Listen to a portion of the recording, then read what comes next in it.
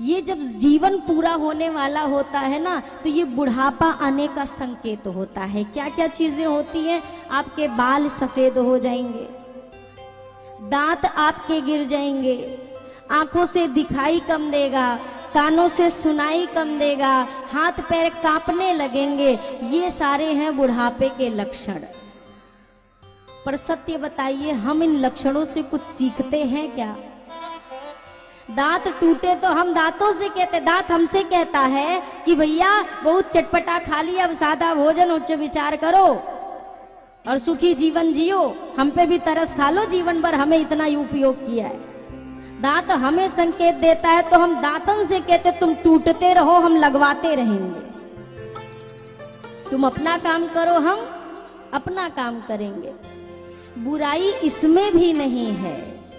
बुराई बालों का रंग बदलने से नहीं है बा, बात यह है कि बालों का रंग बदलिए पर जीवन का भी तो रंग बदलना चाहिए ना।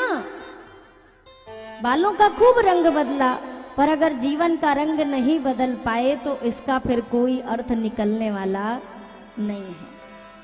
ठाकुर जी का खूब भजन किया जाए खूब उनको याद किया। ज़रूरी नहीं कि ठाकुर जी को हमारा आरती करना ही पसंद आए। क्या पता ठाकुर जी को झूठा सच्चा कुछ भी गाना ही पसंद आ जाए? कुछ, कोई भजन ही गुनगुनाना पसंद आ जाए? ठाकुर जी मंत्र भी अगर आप बिना भाव के बोलो तो नहीं सुनते हैं और गाली भी भाव से दे दो तो वो भी ठाकुर जी ले लेते हैं। ये दोनों चीज़ का फ़र्क है। मंत्र भी खाली फॉर्मेलिटी के लिए होगा ना तो ठाकुर जी भी बैठे रहते हैं। हो गया, इसका तो रोज का काम है। और यहाँ तो लोग गाली दे के भी ठाकुर जी को पा लेते हैं।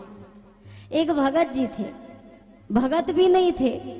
ऐसे ही सज्जन थे, श्रद्धा रखते थे ठाकुर जी के चरणों में। मंदिर गए एक बार। जब मंदिर पहुँचे तो वहाँ पर एक पद चल रहा था। जैसे अभी हमने एक पद गाया ना तो वहाँ पर मंदिर में एक पद चल रहा था। बिहारी जी के चरण कमल में नयन हमारे अटके। सब लोग गाइए एक बार। बिहारी जी के चरण कमल में नयन हमारे, अटके बिहारी जी के चरण कमल में नयन। अच्छा लगा? है ना? अच्छा उनको भी अच्छा लगा था।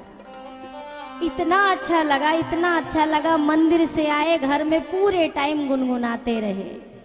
पर हुआ क्या? थोड़ी सी लाइन बोलने में वो गड़बड़ा गए। जैसे उस दिन एक उदाहरण हमने सुना था ना, खाइए खाइए, शर्म तो है नहीं। तो वैसे ही कुछ गड़बड़ हो गई। इनने सुना था बिहारी जी के चरण कमल में नयन हमारे, और ये घर आई इन्होंने गाना शुरू किया, बिहारी जी के नयन कमल में चरण हमारे अटके। बिहारी जी के नयन कमल में चरण हमारे अटके। पूरा दिन गाए। शाम का समय हो गया, गाए जा रहे, गाए जा रहे। ठाकुर जी के पास आरती लेके पहुँचे थे। ठाकुर जी प्रकट हो गए, बोला, आरती बाद में करना, पहले तुमसे मिलना है। उसने कहा, ठाकुर जी, इतने दिन से पूजा करी, आज तक आप नहीं आए और बताओ, आज ही क्या आज आ गए? ठाकुर जी ने बोला, भैया, दुनिया के नैनन में हमारे चरण अटके और हमारे नैनन में तुम्हारे चरण अटके। और जब हमारे नैन में अगर तुम्हारे चरण अटक गए तो जिसके चरण अटके, उससे हम मिले ना? ऐसा हो सकता है क्या? सबको जो अटकाता है, आज उनके नयन कमल में तुम्हारे चरण अटके हैं तो हमने भी सोचा, ऐसे भगत से तो मिल लेना चाहिए। कहने का तात्पर्य क्या? आप भाव से कुछ भी कहो, सरकार स्वीकार करते हैं। भाव की तो गारी भी सरकार को पसंद है। भाव का तुलसी का पत्ता भी ठाकुर जी को पसंद है और बिना भाव का दुर्योधन का छप्पन भोग भी सरकार ठुकरा के चले जाते रखे रहो। दुर्योधन ने कहा, पर आपको हमारे यहाँ पाना चाहिए। ठाकुर जी ने कहा, व्यक्ति दो वस्तु की वजह से पाता है, दो कारण से। या तो वो बहुत भूखा हो और या तो बहुत प्रेम हो, और मेरा तुमसे दोनों नहीं है। ना तो मैं भूखा हूँ, मुझे आवश्यकता भी नहीं है, और ना मेरा तुमसे कोई प्रेम है। तो जहाँ पर ये दो चीज़ ना हो, वहाँ का अन्न ग्रहण नहीं करना चाहिए।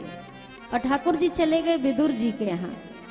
और विदुरानी मैया क्या कर रही हैं? ठाकुर जी के मुखार बिंद के दर्शन कर रही हैं। केला ले रखा है ठाकुर जी को पवाने के लिए। पर ठाकुर जी के मुखार बिंद की छवि में ऐसी डूबी हैं कि आज मैया क्या कर रही हैं? केला छीला, फल फेंक दिया और छिलका उठा के ठाकुर जी ने दे दिया लो पाओ। और ठाकुर जी भी बढ़िया स्वाद से पा पा कर कह रहे, मैया, बड़ा स्वाद आ रहा है, ऐसा स्वाद तो कभी भी दही मक्खन में नहीं मिला जो तेरे छिलकों में आ रहा है। जिसने भी भाव से ठाकुर जी को पवाया, ठाकुर जी ने कभी उसके मन को ठुकराया नहीं है, मेरे भैया। ये मेरे राघव जी हैं। दुनिया में कोई एक ही बनते हैं, राम और कृष्ण, और संसार में दूसरा कोई होने वाला नहीं है। श्री दशरथ जी महाराज ने उन श्वेत केशों को देखकर अपने जीवन में कुछ बदलाव लाने का निर्णय लिया। बाल सफ़ेद होते हैं, ध्यान दीजिएगा। बालों का दो रंग होता है, बाकी तीसरा रंग तो हम करते हैं। नारंगी, पीला, आजकल तो बड़े रंग चल रखे हैं, बालन के भी। पहले दो ही होते। एक काले और या फिर वाक्य बाद सफ़ेद। अब तो लोग काले वालन को भी सफ़ेद, लाल, पीला, हरा, गुलाबी, कुछ भी मोर पंख बना लेते। बाल के दो रंग बचपन में काले होते और बाद में सफ़ेद। बालों को कभी अपने प्राकृतिक रूप से कभी आपने नीला, पीला, हरा, गुलाबी होते देखा है? पहले काले रहते हैं, बाद में श्वेत हो जाते हैं। मानो बुढ़ापे में आकर वो बाल। और एक बात वो सारे बाल सबसे ज़्यादा जो पहले सफ़ेद होते हैं, वो कानों के पास के बाल सफ़ेद होते हैं। इतनी बड़ी खोपड़ी छोड़ देते हैं। ये बाद में धीरे धीरे। शुरुआत कहाँ से? यहाँ से। क्यों यहाँ पे पहले सफ़ेद होते हैं? क्योंकि ये एरिया कान के सबसे समीप होता है। श्वेत बाल आकर कानों में कहते हैं, भैया, अब हम आ गए हैं। हम बाल हैं। और हम तब से तुम्हारे साथ हैं जब तुम बाल थे। अब तो हमने भी अपनी काली माँ छोड़ दी और सफ़ेद हो गए। अब तुम अपनी काली माँ कब छोड़ोगे और श्वेत जीवन जियोगे? अब रंग बिरंगी दुनिया छोड़ो। अब श्वेत जीवन जीने का समय आ गया। श्वेत जीवन का तात्पर्य बेदाग जीवन। जिसमें कोई दाग ना हो। जीवन भर जितने भूल करते हैं, किसी का छीन कर अपना बनाना, ये सब क्या है? ये सब दाग युक्त जीवन है। अब श्वेत जीवन जियो, सादा जीवन जियो, वो बाल हमें संकेत करते हैं आकर। लेकिन उसके बाद भी हम सभी लोग इन सभी चीज़ों को अनदेखा करके जीवन जीते भजन जैसे तीन अवस्था। मैंने प्रारंभ में कहा, बाल्यावस्था में किया गया जो आपका भजन होता है, वो अमृत के समान होता है। और अमृत का पान करने वाला अमर हो जाता है, होता है कि नहीं? आप अगर बचपन से भक्ति लाइन में जुड़े हैं तो आपका वो भजन अमृत रूप में है। ध्रुव जी ने प्रहलाद जी में बचपन में भक्ति की, आज संसार में अमर है। तदुपरांत आती है युवा अवस्था। युवा अवस्था में की गई किया गया भजन दूध और दही के समान होता है, घी के समान होता है। अगर आप युवानी में बढ़िया कस के दूध, दही, घी खा लो तो बुढ़ापे के लिए शरीर मज़बूत हो जाता है। आपको रोग जल्दी पकड़ने वाले नहीं है। पर बुढ़ापे में जो भजन शुरू करता है, उसका भजन पानी की तरह होता है और पानी की ज़रूरत फिर हर पाँच मिनट पे, दस मिनट पे लगती है। अगर आप ये करते हैं कि भैया बचपन नहीं करूँगा, भजन युवानी नहीं करूँगा, मैं तो बुढ़ापे में करूँगा तो फिर इस बात को विशेष ध्यान रखिएगा कि जिस तरह पानी के बिना जीवन नहीं होता, उसी प्रकार फिर भजन के बिना आपकी साँसें नहीं चलनी चाहिए। फिर हर पल 24 घंटे आपके मुख पर प्रभु का नाम हो, तब तो बुढ़ापे में शुरू करो। लेकिन एक बात और, जिसकी भक्ति बचपन में शुरू हो जाए, उसी की पचपन तक चलती है। पचपन में शुरू होने वाली, बचपन से शुरू होगी तो पचपन तक काम आएगी। पर आप सोचो, पचपन में शुरू करे तो ये होने वाला नहीं है। बूढ़ा तोता राम राम नहीं बोलता है। लाख पढ़ा लो। कैसे बोलेंगे? कहते हैं ना कि जब आप छोटे होते हैं तो हमारी बाल्यावस्था में हमारी सारी ऊर्जा, हमारे शरीर में जितनी एनर्जी होती है ना, जब हम छोटे होते हैं तो वो एनर्जी, वो ऊर्जा पैरों में रहती है। बच्चों का आप कभी शांत नहीं देखेंगे। इधर जाएँगे, उधर भागेंगे, खेलते रहेंगे। क्योंकि बचपन में सारी ऊर्जा बच्चों के पैर में होती है। बड़े हुए युवा अवस्था में वो सारी ऊर्जा, प्रमाद और जोश का रूप धारण कर लेती। क्या कर लू, क्या बना लू? और जब तीसरी अवस्था आती है बुढ़ापा तो बुढ़ापे में सारी ऊर्जा हमारी जिहवा पर आकर बैठ जाती है। हमारी वाणी में सारी ऊर्जा केंद्रित हो जाती है। और ये पता है क्यों होता है? क्योंकि तन उस समय साथ छोड़ देता है। केवल ये ज़ुबान है जो साथ चलती रहती है। सब चलना बंद कर देते हैं, पर ये ज़ुबान चलना बंद। हमारी वृद्धावस्था में सारी ऊर्जा वाणी पर केंद्रित हो जाती है। इसीलिए देखिए, जब बुढ़ापा आता है ना तो घर में कोई कहीं से आ रहा हो, पलंग पे भी पड़े रहेंगे तो बीमार हालत में भी पूछेंगे को है कब तक रहेगा? ये झोलम का लेके जा रहे हो। ये बोरी में अभी अभी क्या आया है? अब आप विचार करो, इन चीज़ों से आपका कोई मतलब नहीं है। लेकिन फिर भी चूँकि सारी ऊर्जा आपकी वाणी में केंद्रित होती है ना तो इसीलिए उस समय बहुत ज़्यादा बोलने का स्वभाव बन जाता। है हम अत्यधिक बोलने लगते हैं वृद्धावस्था में। मैंने आपसे शायद द्वितीय दिवस में या प्रथम दिवस में कहा, प्रयास किया जाए वृद्धावस्था में मौन रहने की कला साध ली जाए। मौन रहा जाए। लोग कहते हैं ना कि अरे बुढ़ापे में तो हम अगर हमारे साथ हमें दिक्कत हुई, अगर हमें कोई नहीं पूछा तो हम तो जहर खा लेंगे, हम तो आत्महत्या कर लेंगे। आज तक कभी नब्बे साल के किसी पुरुष या स्त्री को आपने आत्महत्या करते सुना है? कभी आपने सुना, अस्सी साल के बुज़ुर्ग ने घर से परेशान होकर पंखे से लटक कर जान दे दी।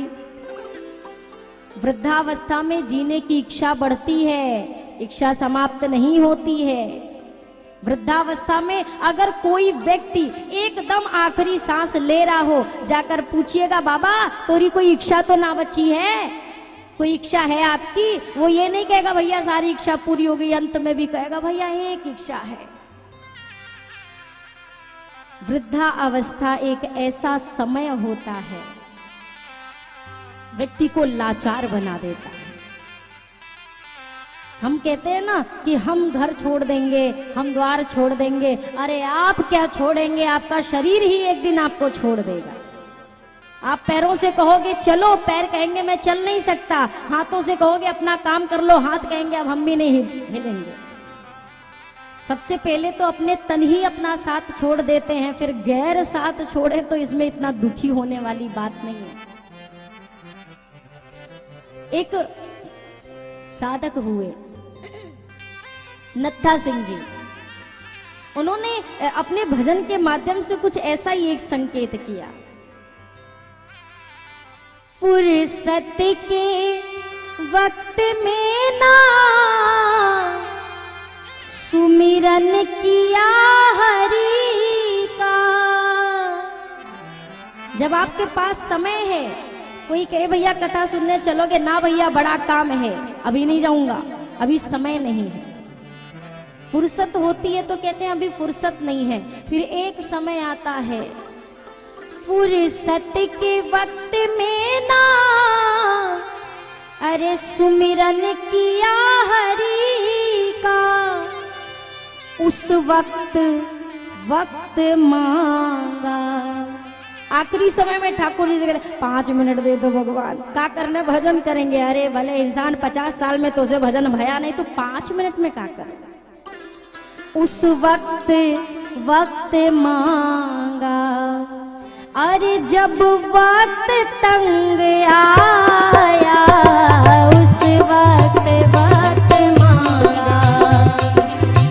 जब वक्त तंग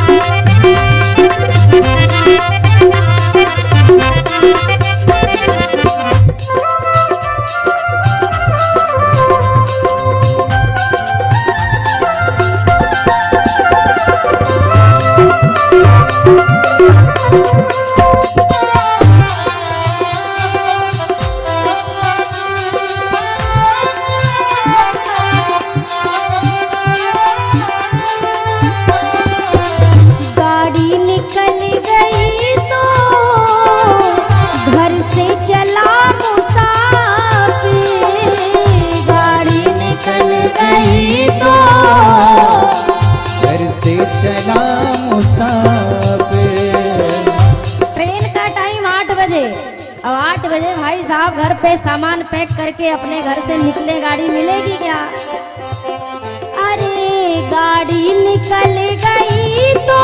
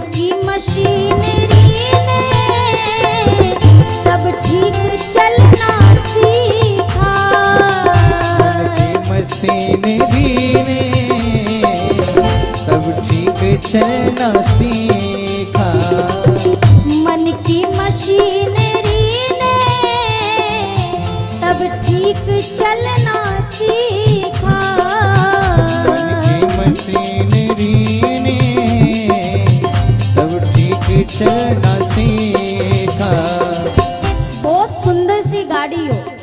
इंजन खराब हो। गाड़ी चलेगी क्या? अच्छा गाड़ी का इंजन एकदम नया हो पूरी गाड़ी खराब हो और गाड़ी चलेगी क्या? चलेगी? दोनों सही होंगे तभी गाड़ी चलने वाली। उसी प्रकार जब तक ये तन रूपी सारे पार्ट ठीक होते हैं, तब तक मन का इंजन बिगड़ा रहता है। आप कहते हो, कथा में चलो, वो कहता है, चाय पीने चलो। और जब आपका मन का इंजन ठीक होता है, तब तक सारे पार्ट खराब हो चुके होते हैं। हेडलाइट फेल, हॉर्न भी खराब, स्टेयरिंग भी नहीं चल रही। मन ठीक तो तन खराब, तन ठीक तो मन खराब, नत्ता सिंह जी कहते हैं। अजीमन की मशीनरी ने तब ठीक चलना सीखा। मशीनरी ने तब ठीक चलना सीखा। अरे जब बूढ़े तन के हर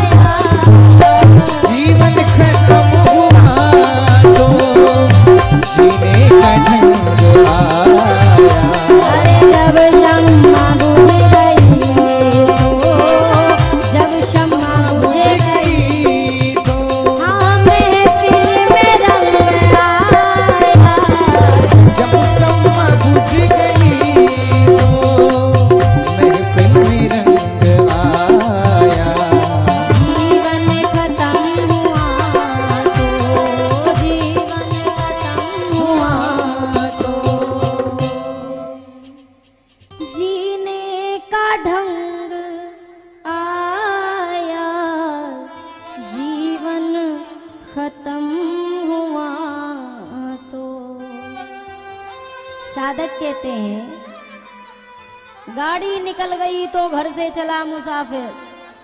और जब इतनी लेट से निकलोगे तो गाड़ी मिलने वाली तो है नहीं तो क्या होगा? मायूस हाथ मलता वापस बेरंग आया। फुर्सत के वक्त में ना सुमिरन किया हरि का, उस वक्त वक्त मांगा जब वक्त तंग आया। मन की मशीनरी ने तब ठीक चलना सीखा, जब बूढ़े तन के हर एक पुरजे में जंग। सब जब जंग खा जाते हैं, तब सोचते हैं कि भैया, अरे जंग लगने के बाद तो नट और बोल्ट भी आपस में चिपक जाते हैं तो हम कहाँ संसार से छूटेंगे? हम भी छूटने वाले थोड़ी ना है। दशरथ जी के हृदय में अब एक विचार आ रहा है वृद्धावस्था आ गई। अब ये राज्य राज्यभार किसको सौंपूं? मन ने कहा, मेरे राम से योग्य और कौन है? राम को दूँगा। पंचों के पास जब यह मत रखा, जो पांचे ही मत ला गई, नीका करहूं हर्ष ही राम ही टीका। अगर आप सभी को मेरी बात उचित लगे तो मैंने विचार किया है ना कि मैं अब ये राजगद्दी से अब मैं निवृत्ति लूँ और राम को इस गद्दी पर बिठाऊं।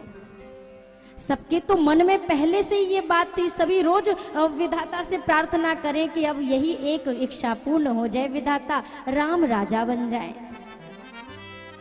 सभी ने दशरथ जी की खूब जय जयकार करी। अब दशरथ जी महाराज तत्काल पहुँचे गुरुदेव भगवान के पास। सुख का समय था।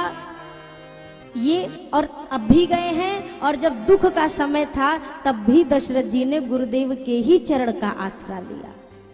जब पुत्र नहीं था, वो उनके लिए दुख और ग्लानी का विषय था। गुरुदेव के शरण में गए, आज एक सुख का पल आया तो पुनः गुरुदेव के पास गए। अब आप बताओ, आपका क्या निर्णय कहता है?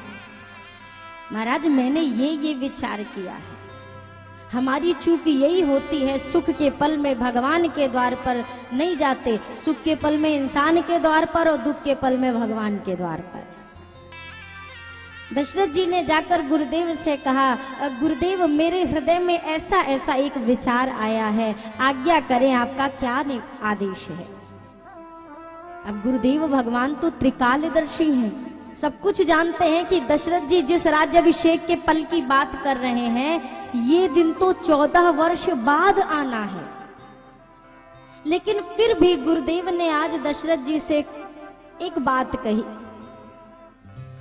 बेगी विलंब न करिए नृप, साजिए सबुई समाज। क्या कहा? महाराज, जल्दी करिए, देर ना करिए। बेगी और विलंब ना करिए, दोनों का अर्थ एक ही है। जल्दी करो। इसका मतलब भी तो यही है कि देर नहीं होना चाहिए।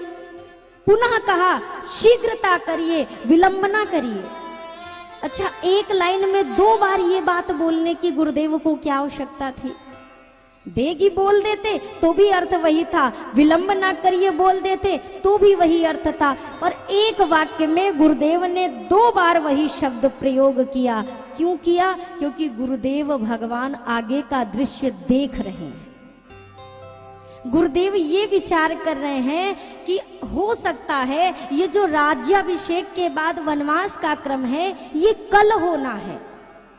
ये कल के दिवस का कार्य है। अगर आज के आज राम राजा बन जाए तो हो सकता है विधाता की लेखनी में कुछ परिवर्तन हो जाए। अगर कल के विषय पर टाले ही ना, आज राम को राजा बना दे तो हो सकता है कि कुछ परिवर्तन हो जाए। इसीलिए दो बार कहा, राजन, जल्दी करो, शीघ्रता मत करो, जितनी शीघ्रता से व्यवस्था बना सकते हैं, बनाइए। पर महाराज ने क्या विचार किया?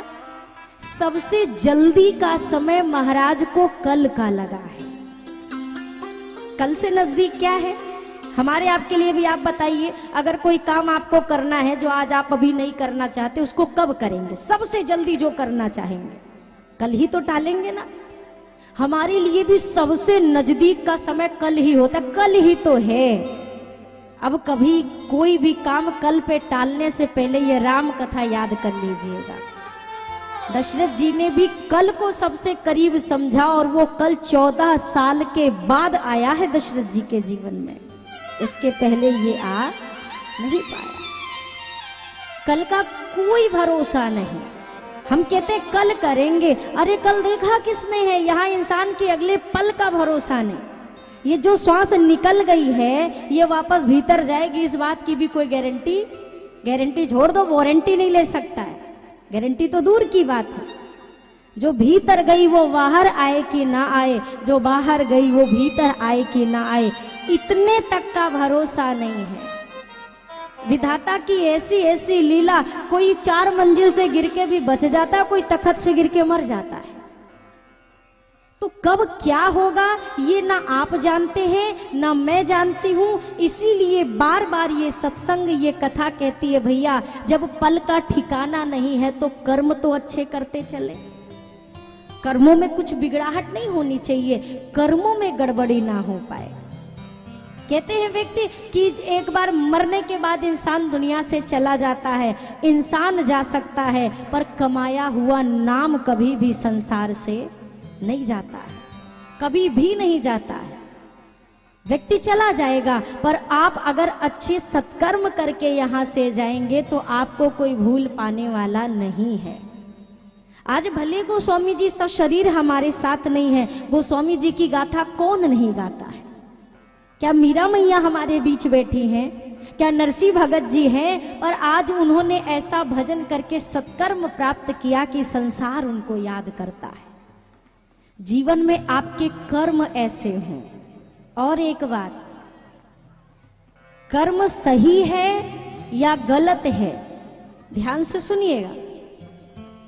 आपका कर्म पाप का है कि पुण्य का है, ये कौन सी बात तय करेगी पहले ये भी समझ लीजिए। अगर पुण्य कर्म करने के पीछे भी आपका उद्देश्य गलत है तो आपका वो धर्म का काम भी धर्म नहीं है। अगर आप कोई अच्छा काम कर रहे हैं, किस लिए कर रहे हैं, मुझे फला से बदला लेना है। समझ में आ गई तीसरी बात? आपका काम आपने क्या, आप दान कर रहे हैं, पर दान करने का उद्देश्य किसी को नीचा दिखाना है तो ये धर्म भी आपका धर्म कहा नहीं जाएगा। और अगर किसी परोपकार के लिए, किसी की रक्षा के लिए आपको एक झूठ भी बोलना पड़ गया तो वो झूठ की गिनती भी धर्म में की जाएगी। कुल मिला के मूल बात ये कि कर्म करने के पीछे का उद्देश्य सुनिश्चित करता है कि आप पाप कर रहे हैं कि पुण्य कर रहे हैं। केवल आपका उद्देश्य। आप किस धारणा से वो काम कर रहे? राजा दक्ष ने क्या अधर्म का काम किया था? यज्ञ कर रहे थे? इतना अच्छा यज्ञ की सारे देवता पधारे थे। पर यज्ञ करने के पीछे का उद्देश्य क्या था? मुझे अपने जमाता शंकर से बदला लेना है। काम सही है, इरादा गलत है, सीधे शब्दों में समझिए। काम सही हो, इरादा गलत हो तो आपका वो काम भी सही काम में गिना नहीं जाएगा। कदापि नहीं। श्री दशरथ जी महाराज सबसे करीब समझ रहे हैं, कल ही तो है, कल राम को राजा बनाऊँगा। तैयारियाँ होने लगी। सारी तैयारी जल्दी जल्दी हो रही है और इधर गुरुदेव से कहा महाराज ने गुरुदेव, कल राम राजा बनेगा तो ऐसा करिए, आज की बेला में आप जाकर राम को उपदेश करिए कि उसे कौन कौन से व्रत का पालन करना है। सायंकाल गुरुदेव पहुँचे राम जी के भवन में। राघव जी बड़े प्रसन्न हुए। सेवक सदन स्वामी आगमनु। गुरुदेव, आप पधारे, आज्ञा करके मुझे बुलवा लिया होता, मैं स्वयं आ जाता। आप क्यों कष्ट करके आए? राघव जी के समक्ष जाकर गुरुदेव ने एक बहुत अच्छी बात कही। राम करहु सब संजम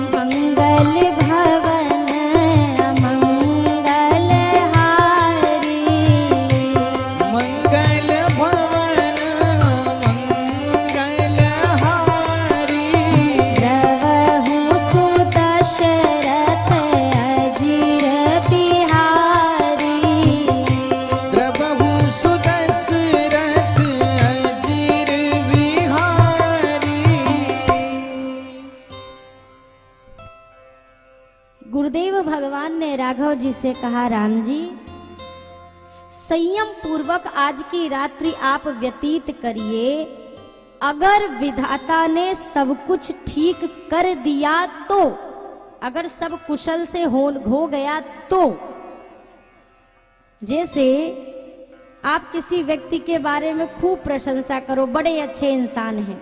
बहुत बढ़िया दान पुण्य करते हैं, बहुत बड़े भगत जी हैं, लेकिन आपने जितनी तारीफ़ करी ना आपके, लेकिन बोलते ही वो सारी तारीफ़ पे पानी पड़ जाएगा। खूब प्रशंसा करिए। अच्छे आदमी हैं अच्छा विचार करते हैं, हमें बहुत मानते हैं, लेकिन मतलब लेकिन के बाद कोई ना कोई शंकाप्रद बात। तो ये जितनी आपने अच्छी चीज़ें कही, उस लेकिन के बाद ये सब कुछ खत्म हो गया। गुरुदेव ने कहा, राघव, सारा संयम, नियम पालन करिए, यदि अब यदि शब्द का मतलब यहीं पर गुरुदेव ने संकेत कर दिया कि कल के विषय में मुझे कुछ शंका, कल सब कुछ कुशल से होगा या नहीं होगा, इसमें अभी मैं थोड़ा सा असमंजस में हूँ। जो विधि कुशल, अगर विधाता ने सब कुशलता से निभा दिया तो ये नहीं कहा गुरुदेव ने कि कल हो ही जाएगा। अगर हो गया